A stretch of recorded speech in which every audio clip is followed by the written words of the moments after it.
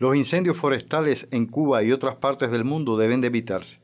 Para ello todos debemos velar para que no ocurran estos accidentes que tanto daños provocan a la naturaleza en general, puesto que son siempre miles las hectáreas de áreas boscosas las que se pierden por el fuego y que pueden poner en peligro las vidas humanas.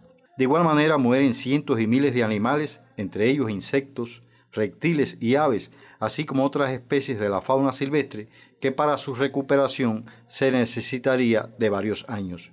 Cuantiosos son los recursos que se destinan para sofocar los grandes incendios forestales. Ejemplo de uno de esos eventos los pudimos apreciar este martes 21 de febrero en el noticiero estelar de las 8 de la noche en la televisión cubana.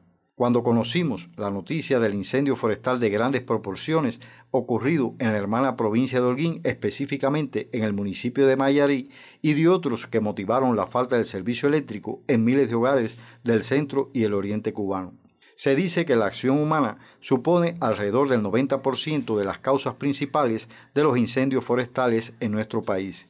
En Cuba, en el año 2022, se produjeron 284 incendios forestales entre los meses de enero a mayo, donde se afectaron 876 hectáreas de bosques y unas 1.378 hectáreas de pastos y forrajes, según estadísticas oficiales.